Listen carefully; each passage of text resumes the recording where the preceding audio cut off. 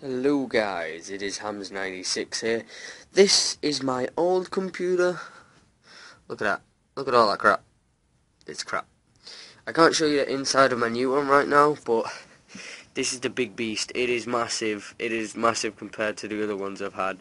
It's got a door on the front with SD cards, DVD player and game player.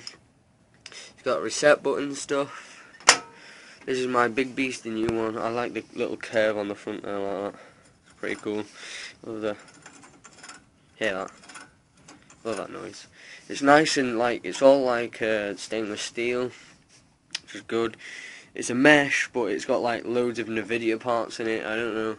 I got it free uh, from one of my family members who built it for me, and I paid for the parts, but he built it for me.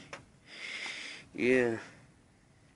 It is a pretty beastly computer. I would take the panel off, but it's on right now, so I don't want to mess any of the fans up and stuff.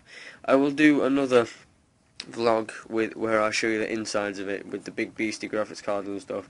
It does run quite a lot of things. It is dual monitor, as you can see. Dual monitor, and there's my old graphics card. And that, wait, that one's the upgraded one and then this is the new upgrade. The whole computer is a new upgrade. Got Windows 7, finally got rid of Windows XP. I hate Windows XP.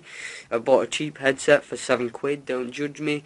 It's really good actually, but the only thing is, is I think it's going to break soon because I've only had it 3 days, but it's going to break already. It's made a cracking sound. Yeah, so this is my old one, an LG. That's my new one, a mesh one, with different parts in. Uh, I've been Hams96, uh, and I have a cold. See you guys later.